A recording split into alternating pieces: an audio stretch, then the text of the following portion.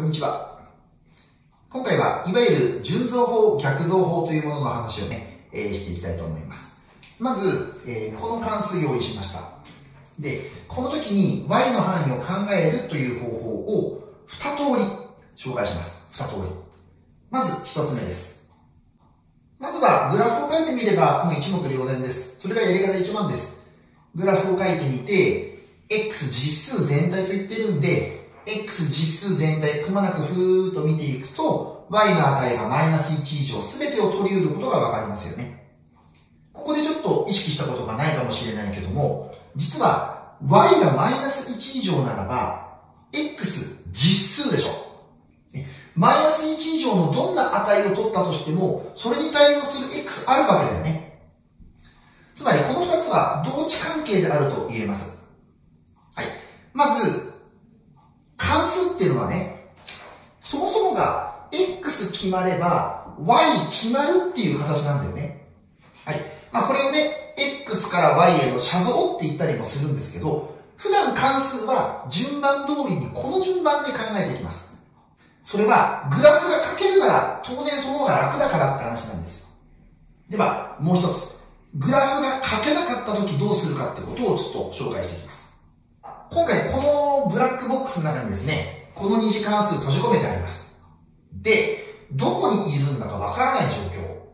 さあ、なんですけども、ここからね、つついてみましょうや。ほら、ほら、ほら、ほら、ほら、ほら、ほら、ほら、って。やっていくとさ、y イコールマイナス1よりも上側のところに指したときには、ほら、ほら、ほらってやったら中から、いて、いててて、いててててててっていう返事が返ってくるじゃないですか。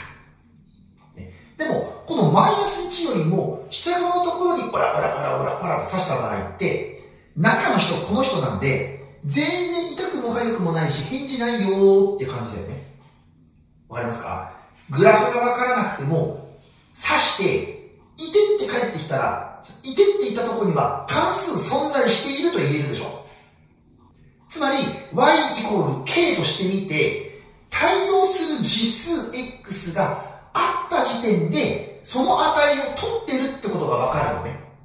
こんな風に、僕、K なんだけど、僕の値のこと取ってくれるの？って逆に質問してみることにします。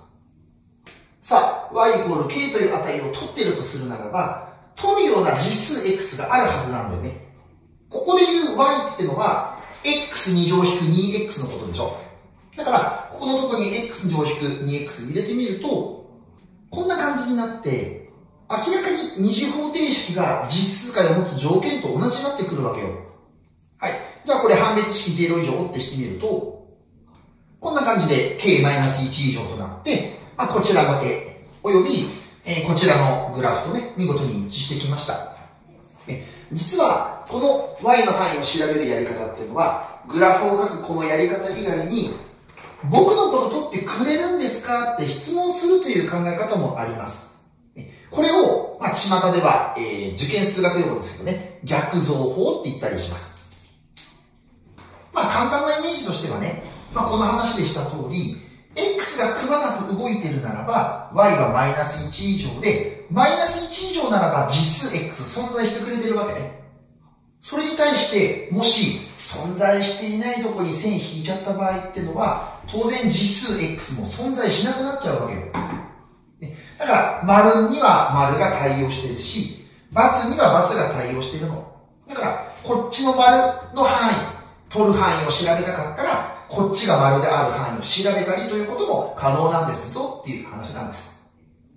これが、奇跡の問題とか、通過領域の問題とか、様々なところで使われてきますので、まず今のを何回か繰り返し見て、自分で説明できるようにしてみてほしいなと思います。ではまた。